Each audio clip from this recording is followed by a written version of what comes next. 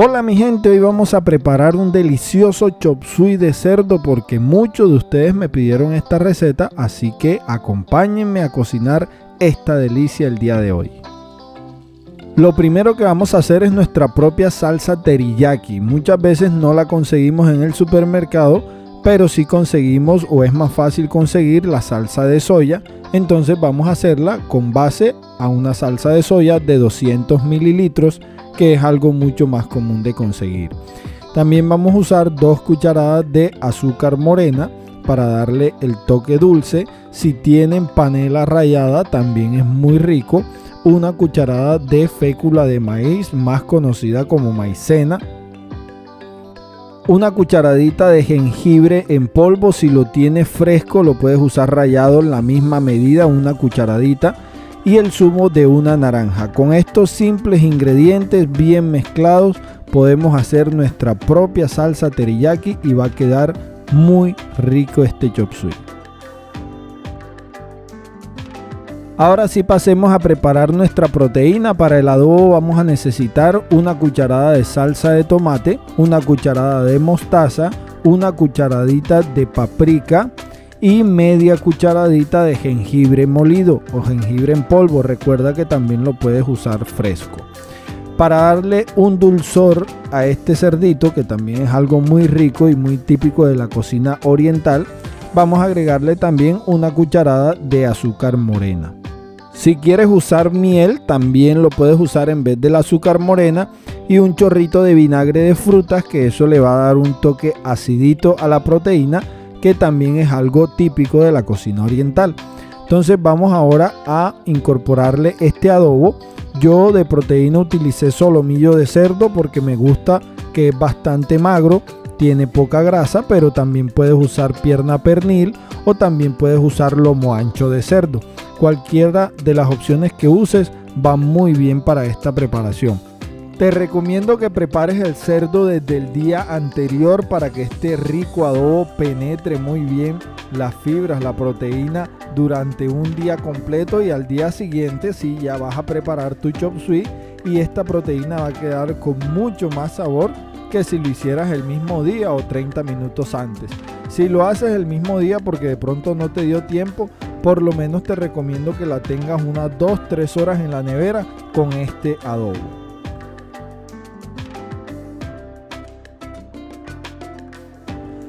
Lo que vamos a hacer después de ya refrigerarla un tiempo con el adobo es sellarlas en un sartén la pieza completa. Me gusta sellarlas así porque si las picamos y las asamos picadas nos va a perder gusto y nos va a perder jugosidad. Mientras que si las asamos así completo y después las picamos ya para usarlas al chop suey nos va a quedar mucho mejor.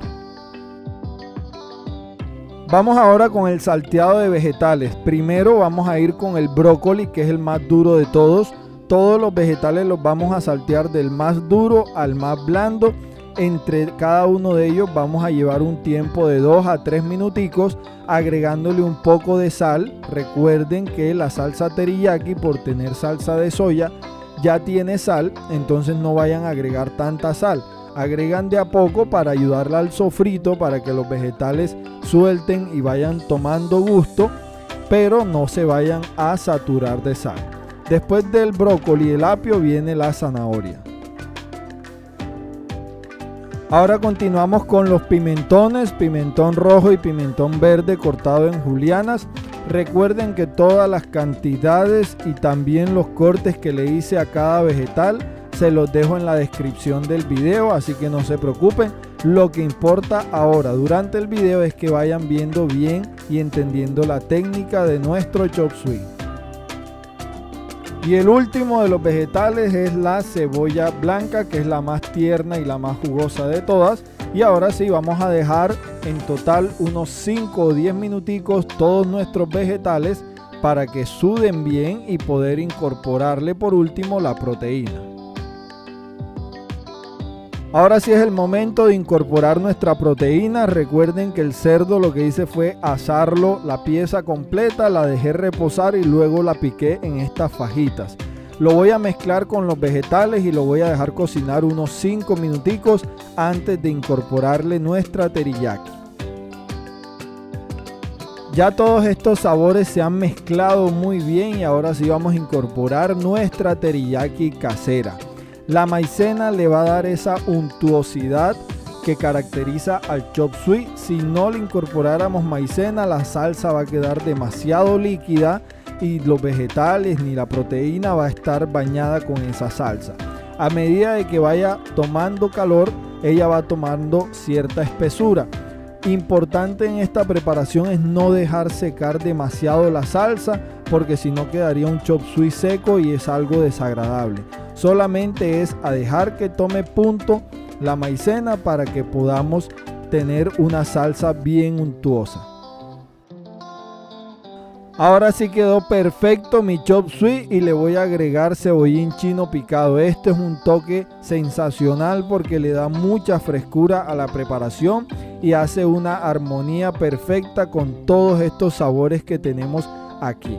Ahora sí, llegó el momento más rico de todos, el momento de servir y comer. Yo lo quise acompañar con arrocito blanco para aprovechar toda esta salsita deliciosa que hicimos. Espero que te haya gustado mucho esta receta. Regálame un like. Suscríbete a mi canal para que sigas aprendiendo todas estas recetas que te hago con cariño semana a semana. Y comenta cuál es la próxima receta que quieres aprender. Hasta la próxima.